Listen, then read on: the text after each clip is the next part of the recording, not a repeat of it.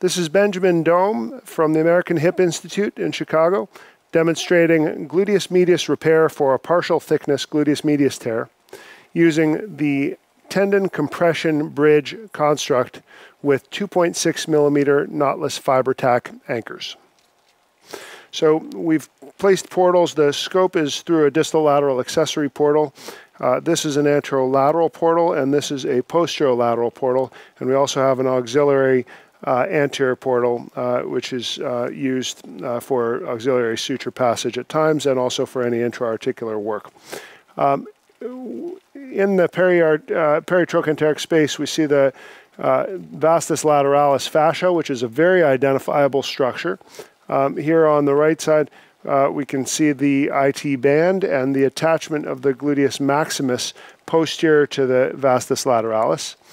And then up here is the gluteus minimus and the gluteus medius. Uh, so these are the muscle fibers of the minimus and medius, and the tendon insertion is here on the greater trochanter. Um, so before we uh, complete a repair, we've probed the tendon.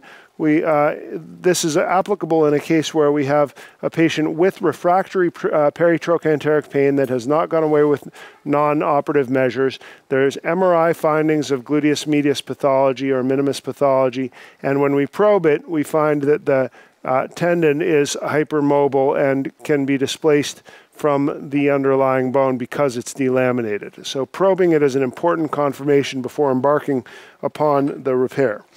Next, we want to prepare a biologic environment in which there can be healing, and this begins with uh, a micropuncture of the uh, greater trochanter.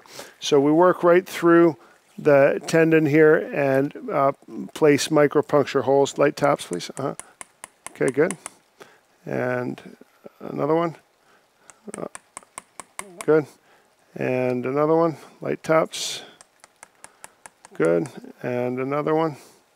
And so we work our way all the way across the footprint in multiple rows, usually three rows of micropunctures, um, uh, one proximal, one distal, and one in between, uh, working from anterior to posterior. So at this point, uh, we, we can place uh, the anchors for the tendon compression bridge. Uh, We'll begin with uh, an anchor through the posterolateral portal here. Okay, so here the anchor is passed right through the tendon. There's a positive stop on the back here where the anchor inserter meets the drill sleeve. And now we just pull straight back and we want to pull on the sutures and make sure that they're seated in the bone and that we have good fixation. So next we're going to come through the anterolateral portal, come through the tissue of the uh, minimus. Here comes the anchor uh, through the anterolateral portal, through the anterior part of the gluteus medius and or minimus tendons in this case, and we'll mallet it. And again, that should have a positive stop where the uh, handle meets the inserter and we pull straight back and we want to seat the anchor again by pulling tension on all the sutures. So now comes the easy part of the procedure where we crisscross the uh, sutures in order to create our tendon compression bridge. So we'll take the repair stitch from the posterior anchor out the uh, more anterior portal and vice versa and pull it out the more posterior portal. So now we have a crisscross. And this is the configuration that's going to lead to the tendon compression bridge.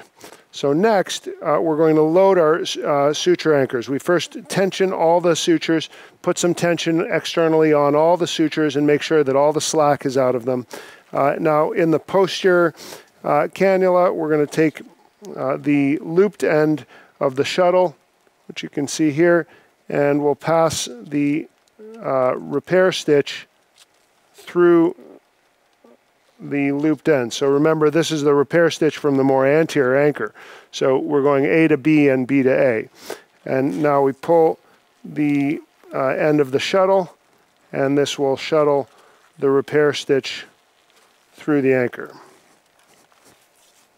like so. Next, we'll do the same for the more anterior uh, anchor. So this is the repair stitch from the posterior cannula, and we take it through the shuttle from the anterior uh, anchor, so A to B and B to A. Notice I have not ten, uh, fully tensioned or compressed down the first stitch as yet. I want to pass both of the stitches through their respective anchors before I tension. And now we pull on the end of the shuttle uh, for this more anterior anchor and uh, pull, um, pull this down. So now, watching the screen, we're going to pull tension on both anchors and compression of the tendon here against the bone. So there's our completed tendon compression bridge linking the two anchors, A to B and B to A. Finally, we'll use the tensioner cutter to complete the tensioning and to cut the end of the suture. So the tensioner cutter can be loaded uh, with this flag. We pass the end of the repair stitch through the flag and then pull it through the tensioner cutter. Pass the tensioner cutter down to, uh, to the bone and complete our tension. We may get a last little bit of tension and then back it up just a bit so it's outside of the tendon uh, and then here we can cut. So that's the cutter.